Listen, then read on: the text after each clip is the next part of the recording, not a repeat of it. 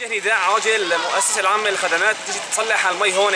أكثر من خمسة أيام آه، أثناء تضرر المنطقة بصاروخ ارتجاجي. يعني المي مثل ما لكم شايفين عم تمشي بالشوارع وحاليا حي السكري مقطوع عنه المي أكثر من أسبوع. والمي عم تمشي شايفين شوف عينكم نوجه نداء عاجل لإصلاح العطل توصيل المياه للأهالي.